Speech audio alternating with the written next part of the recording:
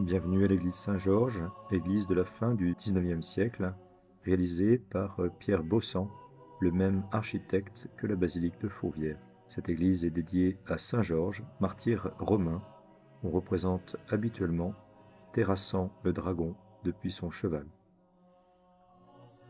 Ici la nef de l'église qui débouche plein est sur l'autel, le tabernacle où se trouve le Seigneur Jésus réellement présent. Sur votre gauche, le baptistère, les fonds baptismaux, où reçoivent le baptême les enfants et les adultes. Par la mort et la résurrection du Seigneur, le serpent, Satan, est terrassé. Vous pouvez vous signer avec l'eau bénite située dans les bénitiers pour rappeler votre baptême. Sur votre gauche, un des quatre confessionnaux. Ce meuble permet aux pénitents baptisés de s'agenouiller devant la croix du Seigneur et de recevoir son pardon dans le sacrement de la confession de la pénitence. Le Christ Jésus, vraiment Dieu et vraiment homme, lui accorde son pardon. Il est mort pour nous sur la croix et il est ressuscité. Saint François de Sales, mort à Lyon. Ici, la chapelle de la Vierge Marie, dans laquelle nous entrons. Au-dessus de l'autel se trouve un tableau qui représente la Pentecôte la Vierge Marie qui reçoit l'Esprit Saint ainsi que les apôtres, puis la Vierge Marie couronnée par son Fils Jésus, et enfin la Vierge Marie portant l'enfant Jésus. Marie est mère de Jésus, Jésus est Dieu, Marie est mère de Dieu. Sainte Jeanne d'Arc, patronne seconde de la France, une représentation du Christ au tombeau, et un autel dédié à Saint Joseph, le père adoptif de Jésus, l'époux de la Vierge Marie. Chaque jour, nous exposons le Saint-Sacrement, nous adorons le Seigneur.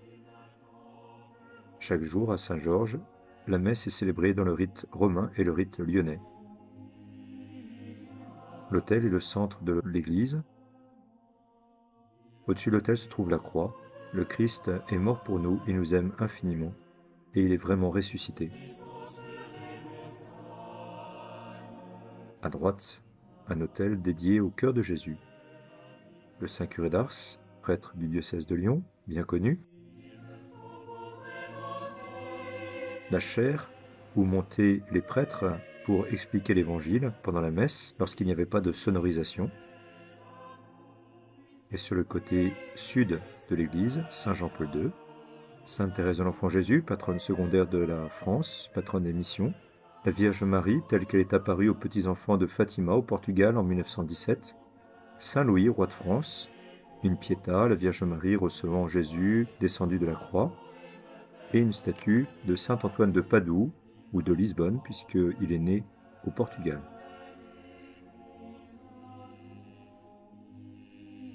Au-dessus de la porte d'entrée se trouve le buffet des grandes orgues. Les grandes orgues ont été restaurées récemment. Elles aident les fidèles à louer Dieu, elles soutiennent leurs chants et leurs prières. Vous êtes les bienvenus à l'église Saint-Georges.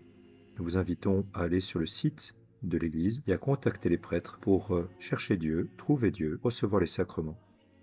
Merci de votre visite.